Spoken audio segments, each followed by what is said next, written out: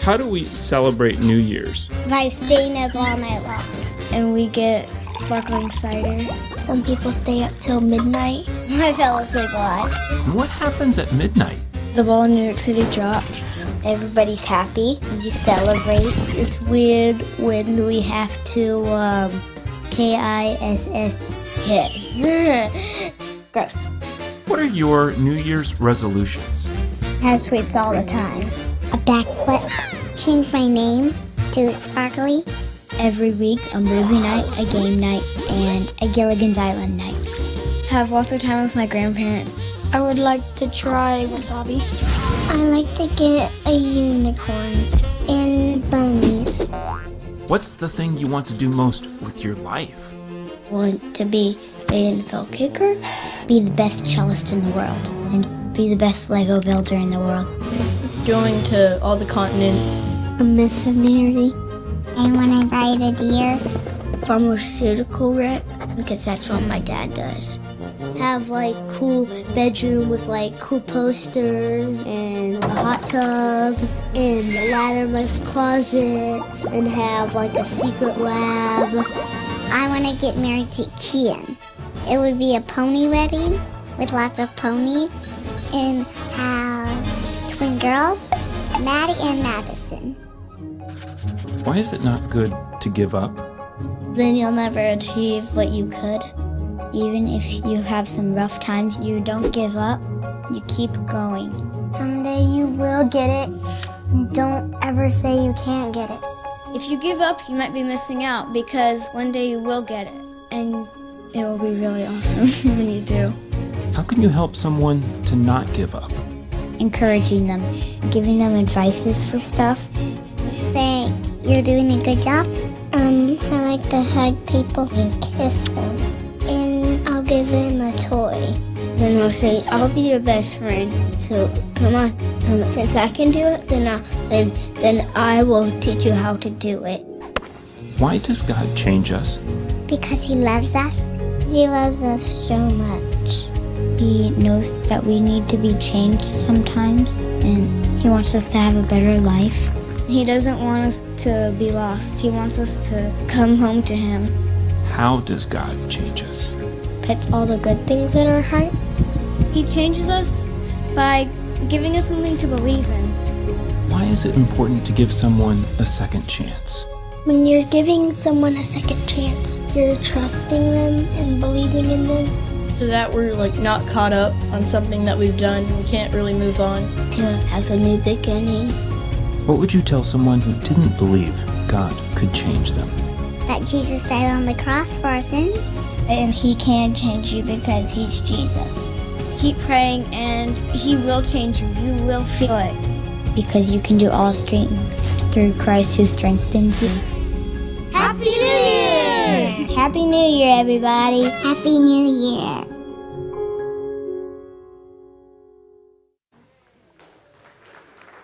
Good morning. Happy New Year, or soon to be New Year, or as we say where I come from, Feliz Año Nuevo, or Próspero Año Nuevo. Can you say that with me? Próspero Año Nuevo. You'll sound terrible. Okay. Good enough. I like to think of the kids, I like to think of kids in general as, quote, cute sinners. Okay? That's the best phrase that I can think for them. They speak from the heart and they don't have much arrogance or rancor. Have you noticed that? They'll just pretty much tell you what they're, they're thinking.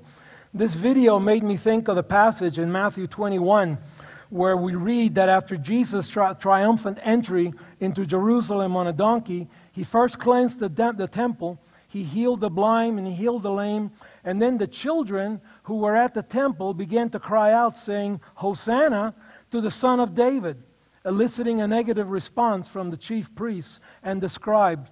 But Jesus obviously delighted in the children and quoted from Psalm 8 when he said, Out of the mouth of infants and nursing babies, you have prepared praise. How true that is.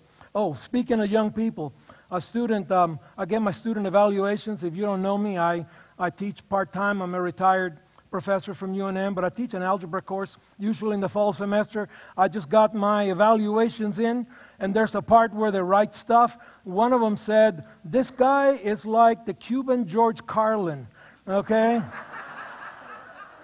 I have no idea who that was, you know, but it's almost as good as Calvin Cuban, isn't it? No, I'll stick with, I'll stick with that, that other one.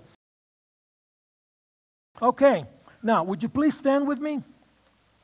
And what I would like to uh, do at this time is I'd like to read our passage uh, for this morning from Romans uh, 6, 1 through 4, and then please remain standing for our prayer. What shall we say then? Are we to continue in sin that grace may abound? By no means. How can, how can we who died to sin still live in it? Do you not know that all of us who have been baptized into Christ Jesus were baptized into his death. We were buried, therefore, with him in baptism into death, in order that, just as Christ was raised from the dead by the glory of the Father, we too might walk in newness of life. Let's pray. Dear Father in heaven, we thank you that you shed your grace on us, and that by your grace alone, and through no effort on our part, you regenerated us from the dead into life by the power of the Holy Spirit, inspiring us to repent of our sins, believe the gospel, and be saved and united with Christ for all time. His blood cleanses us from all sin. His resurrection is our resurrection one day. We pray that we do not take your grace lightly or cheaply, but knowing that your grace cost you the death of your Son, we strive all the more to walk in newness of life these things we pray in the precious name of Jesus. Amen. Amen. Please be seated. So, walking in the newness of life today in 2020, infinity and beyond is the main theme of my message this morning. And since newness of life necessitates new resolutions, I am pleased to announce we have a big treat for you. I have invited the Reverend Jonathan Edwards from the 18th century to come up here and give us his own resolutions for life. Reverend? I thank you, Reverends, for those kind words, and I am humbled, as I am sure you are, to present me to your congregation today to impart my wisdom in my 70 resolutions, not 69. 70 resolutions. But I do have one request of you, Reverend. Yes? That next time you summon me, that you present a more suitable vessel, one that hath hair on the head and not on the chin. I'll take that under advisement. Have you ever heard of Rogaine? who, who is Rogaine, no, Mr. No, go on, go on. I would prefer to have the head warm, not the chin. But I suppose I should thank Providence that I do not appear as one of your abominable troll dolls.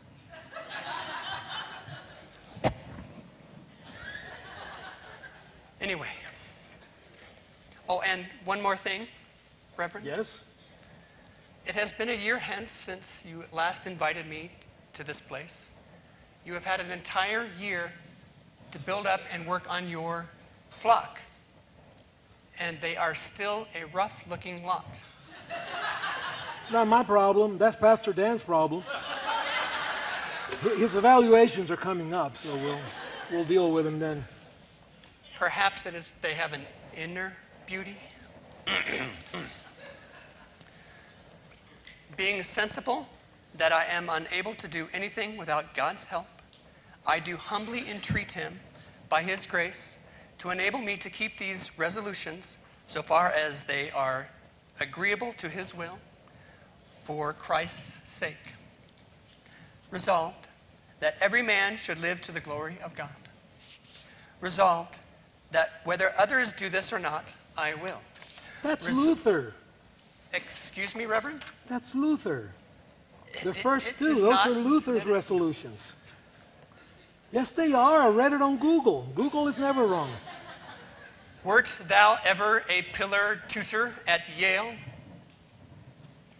Perhaps thou hast had thy sermons printed, lauded, and read throughout the land? Didst thou publish a faithful narrative of the amazing work of God in the conversion of several hundred souls in Northampton, or perhaps important discourses on various important subjects with five, five of thine most important sermons and the impact upon the Great Awakening? Or perhaps thou didst print. What did thou print? the justice of God and the damnation of sinners? No, no, but I'm Cuban, and unless you want me to have an episode, you should get back to your script. Quill, Quill, what hath I done to thy quill, man? Didst thou chew off the feather? Ink.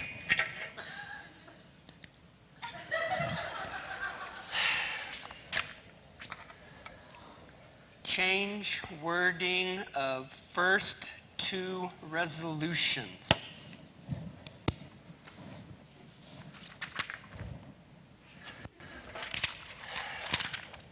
Resolved that I will do whatsoever I think to be the most to God's glory and my own good, profit, and pleasure in the whole of my duration, without any consideration of the time, whether now or never, so many myriads of ages hence.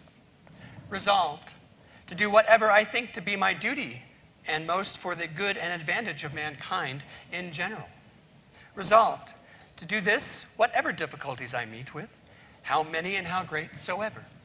Resolved to be continually endeavoring to find out some new invention and contrivance to promote the aforementioned things.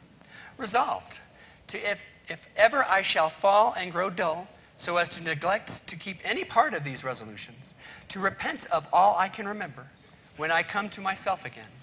Resolved never to do any manner of thing whether in soul or body, less or more, but that what tends to the glory of God, nor be, nor suffer it, if I can avoid it.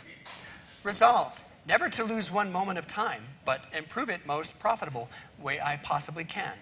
Resolved. Okay, okay, okay, that'll do, that'll do, that'll do. See, unlike you folks back in the 18th century, in the 21st century, we have very short attention spans. Okay? Like like a goldfish, you know, similar to that. Reverend, wouldst thou not summon me here to no. this place to impart my wisdom Psycholo- upon this congregation? Psychologists wouldst, blame these things. Wouldst okay, thou impart to start the study of the Acts of the Apostles and then not continue on to Romans? Well, maybe you would. Thank you, Reverend, for sharing your part of the resolutions of the faith. Now, can you just. I has come up with the 71st resolution. Quill?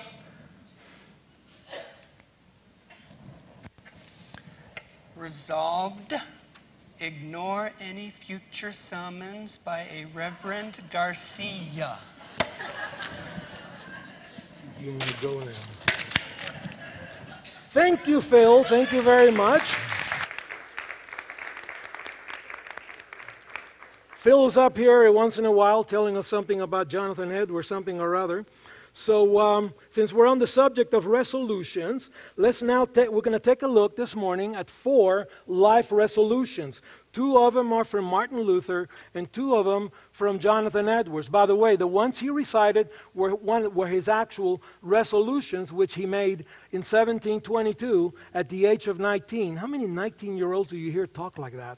Okay, he was an incredible, precocious child, but very, very intelligent, way, way ahead of his time. Not only ahead of his age, but ahead, very much ahead, ahead of his own time. There are also the fill in the blanks in your bulletin. I'm not the least bit offended if you don't fill them in there. I believe that these apply today just as much as they did in the 16th and 18th century. But before we go there, I want to say a couple of things about just good old resolutions. And here's the reason why 80% of people who make a resolution to lose weight give up on that resolution by February. And there you have it. I mean, you know, it just makes no sense at all. See, it's, it's those donuts. And I keep, if you, if you read my blogs in the past or, or read me on Facebook, they're made by the devil. Okay? He wants to screw up humanity. And this is how he does that. So, anyway, that's why resolutions fail. But it is true. 80% of the resolutions, New Year's resolutions that we make, are broken by February. By next New Year, a full 92% of resolutions are broken.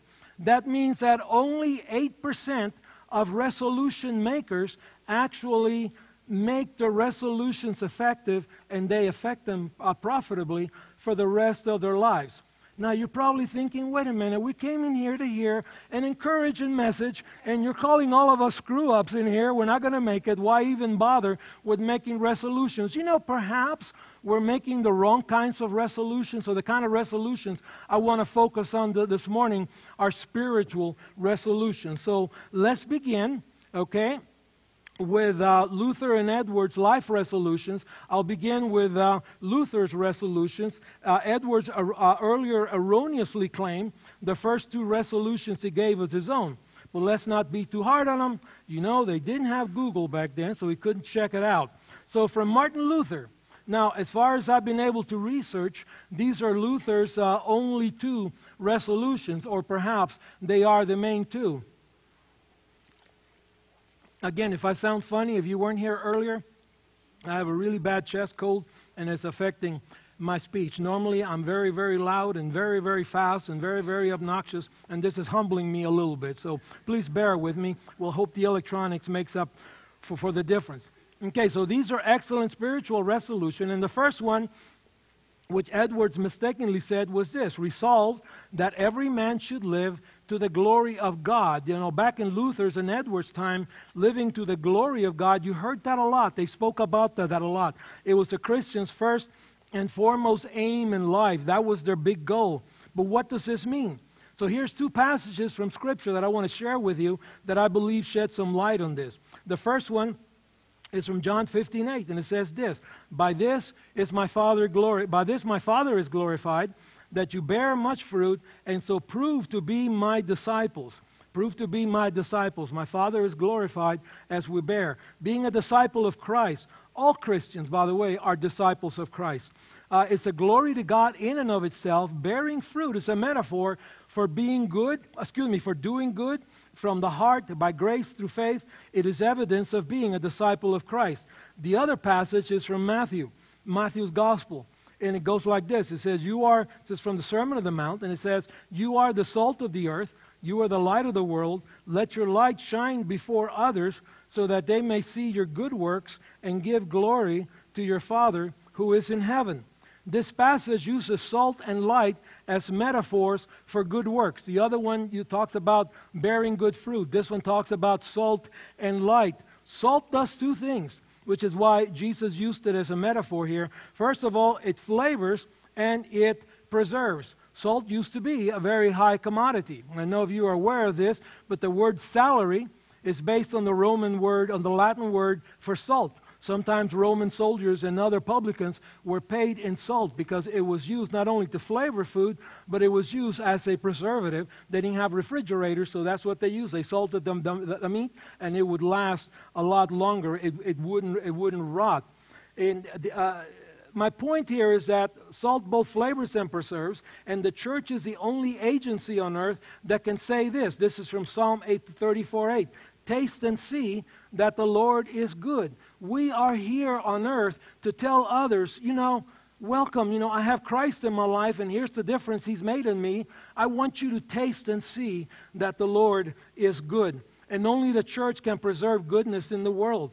Light exposes the truth. It makes evil run into the, into the shadows. In general, these are two ways that we publicly do good in the name of Christ and to the glory of God. The other of, of uh, Luther's resolution is simply this. He says, resolve that whether others do this or not, I will. Whether others do this or not, I will. In other words, once Luther discovered that salvation and justification before a holy God is by grace alone, through faith alone, according to Scripture alone, in Christ alone, and all for the glory of God alone. Those were the five solas. Uh, sola means alone of the Reformation. This was the cry, the, the, the rallying cry of the Reformation. That he determined that the only one he needed to please was God, and that pleasing him was a glory to him. And for a while in there, uh, around the time he nailed the 95 Thesis to the door of the uh, Castle Church in Wittenberg in uh, October 31st, 1517, he was pretty much the only guy that was getting it. He was very, very much alone. Imagine.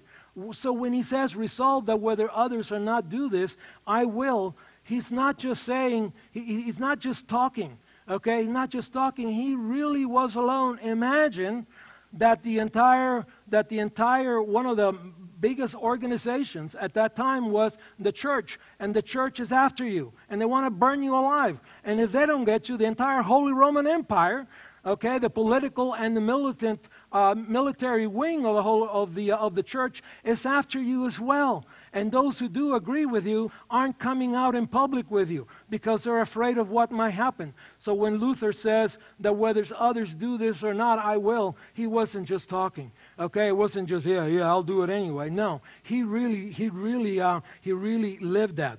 Now, when I think of this, I'm reminded of this passage in John's Gospel. When Peter saw him, John, he said to, he said to Jesus, Lord, what about this man?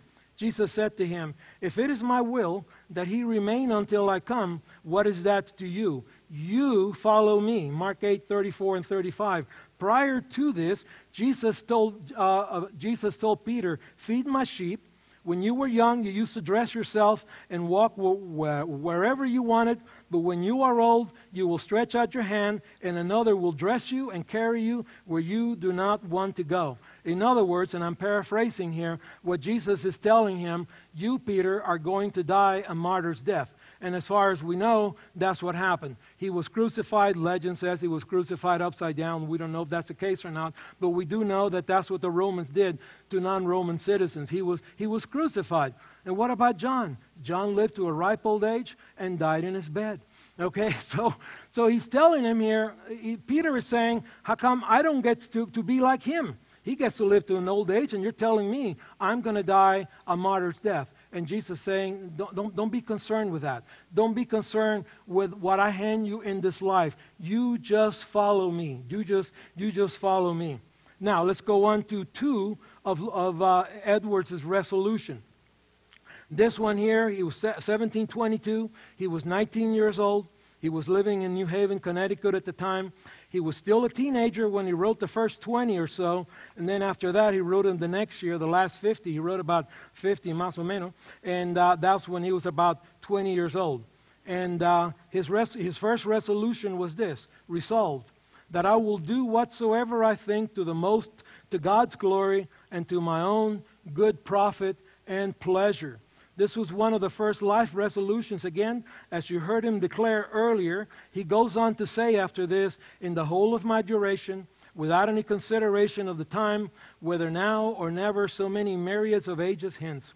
The two things he mentions here are to be a glory of God, which we already talked about, and also he's saying that it is spiritually profitable and a tremendous pleasure to him personally to be able to live to the glory of God, which I just said, it is to do good works in the name of Christ. It, he, he, he considered those things to be a pleasure. Now, where did he get that from? Well, being that he grew up a Puritan, and, uh, and they, they had catechism, and the catechism that the Puritans used was the catechism that the Puritans wrote, and that was the uh, Westminster Shorter Catechism.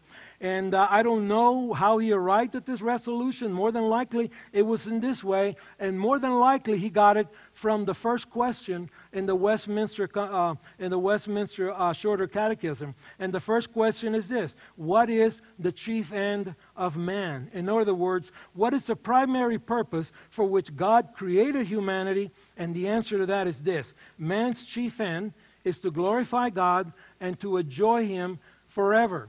And these, uh, these Puritans who put this together in 1648, so it, was like almost 100 years before Ed, Edwards, they wanted to put verses on there to justify how they came up with these answers. In 1 Corinthians 10.31, we read that whether you eat or drink or whatever you do, do all to the glory of God. See, when I say things like that, you're probably thinking, you know, you, you don't understand. I'm a very busy person. I don't have time to go to a, you know, to work at a soup kitchen. Who's asking you to work at it? That'd be great if you do that. I don't have time to this. I'm poor. I cannot give it. Look, it is a glory to God, in my opinion, if you change your child's diaper. Okay? Because you are doing the will of God.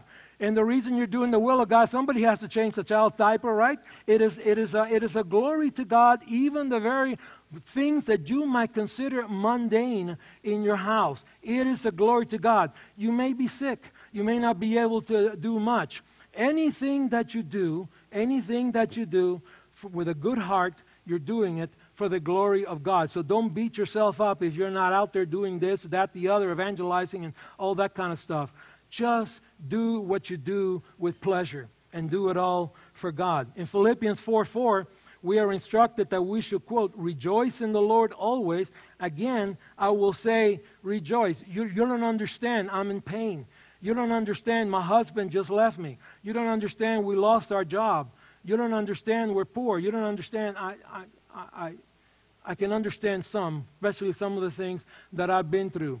Rejoicing doesn't mean you put on a false smile and you go around acting like nothing is wrong. But rejoicing means that in your inner spirit, you know that God is in control of all things and that He will bring about a good end to whatever it is you find yourself in. And some people see that good end before they die, and some die and never get to see it but God will accomplish it, will accomplish his purposes in your life. And in that we can rejoice. All else we think, feel, and resolve to do must flow from these two things. Edward's second resolution okay, is actually number 66 out of 70. He had to come up with 70 resolutions, which uh, Edwards here wanted to sit up here. He'd still be talking. No, I had to get him to sit down. Okay, so I'm going to tell you number 66. Say, why are you jumping over to number 66? What about 3, 4, 5, and, and all of that? Because I think that this one is very practical and very apropos to the times that we live in, especially given our divisions in the church. Would you say there are divisions in the church? Okay, if you don't, you, you either been orbiting Pluto, okay, and you just came down to Earth today, okay, and you haven't saw anything. There are divisions in the church. Are there divisions in government? Even worse, okay? We are divided big time. We are really divided. So I think that this one is apropos. Not to mention that we're having a presidential, uh, a presidential election coming up, as well as a congressional election coming up in November 2020. It's only 11 months away. I expect the divisions to get even worse. So, from Jonathan Edwards in 1723, when he was 20 years old, he resolved that I will endeavor always to keep a benign aspect and air of acting and speaking in all places and in all companies, except that it should so happen that duty requires otherwise. You know, this guy thought through this stuff. Okay, he really, he, he's not just writing these things down. And as far as we know, he actually kept these resolutions his whole life. Okay, he actually kept them. He died at the age of 55 from a botch, uh, from a, uh, a botched smallpox vaccination. What happened back then is that they, they, they, uh, they noticed that if you cut yourself and you happen to touch the pustule, you know, the oozing uh, from a smallpox person, that sometimes, sometimes that got you a little bit sick, but not very sick. And so what they started doing was they started grabbing people who were very sick, almost to the point of death. They put them in the back of an ox cart and they go around from house to house. They bring in people in the house. They would take them in and they would cut right here, and they would grab the uh, ooze the pustule and rub it on here, okay, and that that would actually, it actually worked because it was giving him a weakened virus, okay, and it actually worked. In his case, the guy that got it from was a little bit fresh, okay, so, so he wasn't quite, he, they should have gotten somebody that was further along, and so he actually, um, he, he died. He was the uh, president of uh, Princeton College at the time that, at the time that, that he, he passed away. So, anyway, uh, it's an incredible guy. So, this resolution here reminds me of this passage from Colossians. And it's this it says, Walk in wisdom towards outsiders, making the best use of the time. Let your speech always be gracious, seasoned with salt. There's the salt metaphor again. Okay, so that you may know how you ought to answer each person. Oh, gee, that takes all the fun out of arguing, doesn't it? Okay? I mean, I have to be gracious. I have to be nice. I have to be civil. I can't just yell. Okay? It's the environment I grew up in. We recently celebrated Christmas, okay? And uh, we, uh, where I come from, we don't, Christmas is a day that you just hang around and do nothing, okay? Then you, the, the good news is you don't have to go back to school until January 7th because January 6th is the day we get our toys. What about Santa Claus? Ah, some Yankee, Yankee guy, fat Yankee guy. Don't worry about him, you know. And our toys were delivered on January 6th, the feast of the Epiphany, and they were delivered by the three wise men. Okay? Now you say, well, that's stupid. Well, it's more biblical than Santa Claus, okay? At least they're mentioned in the Bible. Where's Santa Claus in the Bible? He's not. Okay, so anyway. And you say, well, did they come down a chimney? No, no, no, no. Who's got a chimney in a tropical country? Okay, so what, what the way it worked is uh, we lived in an apartment, and the three wise men would come up the steps with their camels, and they would come right up to the door, and then magically they would shrink down to about that big, crawl under the door, rematerialize, drop off all the toys. Those camels can hold, hold a lot of stuff. Okay, more than some stupid reindeer and uh, what do you call it? Uh, the sleigh he rides around in, right? Drop off all the toys, back down they go, out the door, next house, and they repeat this all over Cuba, Mexico, Argentina, all over the place, okay? They don't come around here because you don't believe in them, okay? If you did, you would have even more toys. Seriously. Seriously, that's kind of the way we, and one of the finest, if you could call it finest, one of the finest memories that I have was of Nochebuena, which literally means the good night. It's, it's what we celebrate on the 24th. And uh, we would go to my uh, aunt's house, my, uh, my, uh, my mother's sister, and we would celebrate there. And it was celebrating by eating a pig. When I say eating a pig, I mean the whole pig. Okay? We, uh, we, me and all my cousins, we were little, we would fight over the tail. The tail was real chewy. You know, it's real good to eat. Well, it was cooked, okay? Stop making faces at me. Okay. Yeah, it's real, it's real. So we would fight over the tail, and then there would be black beans, there would be rice, and there would be flying and all kinds, all kinds of other stuff. And after, and after the dinner was over, the women will go in the kitchen to clean up. You say, what, a bunch of chauvinists. Yeah, that's the way it was back then. Okay, got to get over it. Things have changed. That's the way it was. And they would gossip. The men would go into the living room, and they would start to argue about Cuban politics. Now, while all this was going on, there's this bearded guy up in the hills in the eastern part of the country making headways towards Havana. And some of my relatives thought it was the best thing, and uh, the, the best thing. Others were, were in favor of the current government, and they would start arguing. None of that stuff you read there did they do. They didn't walk in wisdom, okay, towards outsiders or insiders, okay. They didn't make the best use of the time. The, their speech was hardly gracious, okay, seasoned with salt, seasoned with battery acid, maybe, okay, going on and on, okay, and they would argue and argue. I don't remember anybody hitting anybody, but there was a lot of this going on, you know, where you just punch and punch, faces this close to each other. You can see the spit going back and forth, you know, as they yelled, and, and you're a horrible person, and, and, and your mother was a horrible person, which is a big offense in Latin America, telling somebody their mother's a horrible person. And I mean, I'm surprised. And then the whole way home, I had to listen to my father complain about all my relatives. I still had a good time, okay? Believe it or not, I still had a good time. Well, none of these people that I can remember were what I would call believers. Okay, so they didn't act that way. But this, this right here, you read right there, is what is expected of us. You see, there's a salt metaphor again flavor and preserve. Flavor and preserve. Speak in such a way that you sound tasty. Now, what does that mean? People want to listen to you. You engage them. They want to hear what you have, what you have to say flavoring, preserving the world in the name of Christ flows from the Father's grace. It is both an act of faith and an act of obedience, and it's always a glory to God. The rancor and rhetoric that I hear so often from both believers and unbelievers alike, from the left and the right, from the blue and the red, from the donkey and the elephant, and everything in between, may make us feel good about ourselves and our causes. You see, I'm right. Recently, I was reading this article, and somebody was saying, you know, instead of planting flags, can we just sit at a table? You see the difference? The flag says, This is my side. I'm right because this is my flag. And you're wrong because you got the wrong flag. The table, you sit down and say, Look, I got my own opinions. I don't agree with you, you know, necessarily. But can we talk? Can we talk? in my opinion, that will get us a lot further in the church than it would if we just continue sitting at the table instead of planting flags. If such things don't grieve the Holy Spirit, Isaiah 63, 63.10 and uh, Ephesians 4.30, then I don't know what does. Okay, so I want to take everything that I've said this morning and condense it into one slide. Okay, so you can walk out of here and say, "What did that guy say?" He talked and talked something about eating a pork pig, a pigtail, and you know, you, know, and all this kind of stuff. And let, let's let's summarize right here. So I want to summarize the new life resolutions. First, resolve. By the way, the band, would you please come back up? The band or whoever is. Oh, we got a whole bunch of different people.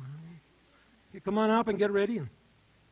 Resolve two. I've summarized what Luther and Edwards said and par- paraphrased them into contemporary English. First, to be a glory to God, make the gospel tasty. Now, don't say, I want to make the gospel relevant. That doesn't make any sense. The gospel's already relevant. Okay? And at the great white judgment, people who didn't believe the gospel, believe me, they're going to know it was relevant. And you're going to know it's relevant too. Don't try and make the, the gospel relevant like trying to make water wet. But we can make it tasty in the sense that we can make it palatable. We can make it, we can try to do our best to make it acceptable to as many people as possible. Okay, shed light on the truth. Do good in your family, your church, your world. Be, be salt and light. In so doing, be a glory to God. Second, be it. By it, I mean be a glory to God in the communion of saints, but solo if need be. Best to do God's work with others in the church. When you run into opposition or half hearted results, then you may need to fly solo. But before you go off on your own, make sure that you have talked to as many people. Believe me, I have some idea of how that is. I'm not going to give you the details because I have to maintain confidentiality. But I have been in both in the church and, and uh, when I was uh, an administrator at the University of New Mexico, I've run into situations like that, where I'm the only one that is speaking the obvious, okay? And I am literally catching Hades for it, okay? So I understand. Sometimes you just have to push on. But try to do it first within a group of people. As you be it, a glory to God, and do it, enjoy Jesus, enjoy His Word, enjoy praying, enjoy fellowship with the saints. And if you don't already enjoy these things, look, if you're like me, prayer is a chore, right? I mean, just be honest. You'd rather be doing anything but praying, but you know you should, so you go ahead and pray. Or getting in the Word. You'd rather be doing anything else, okay? I mean, there's, there's the, on this screen I got the Word, on this screen I got Facebook. Let's see, which one will I choose? Okay, I, I understand that. I understand all, all of that. But what I'm saying to you, if you already enjoy these things, that's great. If not, pray that God would grant you enjoyment in these things and proceed regardless of whether you're enjoying it or not in faith. Believe it or not, if you obey in faith because you know it's the right thing and then you obey, in time your feelings catch up. Some people say that feelings are things to be ignored. Okay? Have you tried ignoring? You? What are you, Mr. Spock? Okay? It doesn't work that way. You can't ignore your feelings. They're going to come up and grab you and take you wherever they want to. You have to bring your feelings into conformity with the Word of God. Feelings can change, but it may take time. Now, some things, you know, I feel like doing, I feel like eating, I feel like doing this, I'll just sit down and eat uh, and, and do it the things that I don't feel like doing it, I have to know is this the right thing? Therefore, I need to obey in faith. Go on. Again, in time, the feelings, the feelings catch up with you. Okay? And if they don't, keep praying. You see, the next and the last one here is prayer and the word are like hot chili. I wrote on here. Why did I write that? Prayer. Oh yeah, because it's an acquired taste. Okay? It's an acquired taste. It is. It is really an acquired taste. You see, um, when was it, Hope, that we came in vacation? We were living in Lubbock and we came in vacation to Santa Fe? What year was that? Pardon? 87. And we came to Santa Fe. We took a vacation. We, this is in BC days, before kids, BK days, before children. Okay, so we were ha- having a great time. It was just the two of us, and uh, so we came to Santa Fe, and I, I went to a restaurant to eat. Goodness gracious! And I'm thinking to myself, why do these people put plutonium in their food? You know. What is going on here? This is crazy. You can't enjoy this. You know, But then once I moved to New Mexico, I can't get enough chili. You know, I can't get enough. And you got these people that eat and eat and eat this stuff. One time I had a, I had a garden, and uh, I decided to grow some habaneros. They're about this big, kind of orange. They're very, very hot. And the reason I grew them was because there was this uh, two people at UNM Valencia who said to me, I I eat chili like any kind of chili. I said, okay. So I planted the plants. So this it took a while before. And when they were nice and ripe, I brought home. I wasn't going to touch those things. You know, I had these special gloves they use at Los Alamos, you know, and, and I brought them over there and I said, okay, show me. This lady ate one of them. I thought she was going to die. Immediately, sweat, you know, her composure she goes down a bit. You know, I could see she is in pain. Well, not so bad. Yeah, it is. You're dying, lady. Tell me the truth. But then this other guy just ate them like M&Ms. No changes in skin color, no changes in facial expression. Okay, tell me who in here is like that. You can eat those things. One, yeah, well, you, you got the gift. I don't. But seriously, because so many New Mexicans like that stuff, I had to conclude it's an acquired taste, right?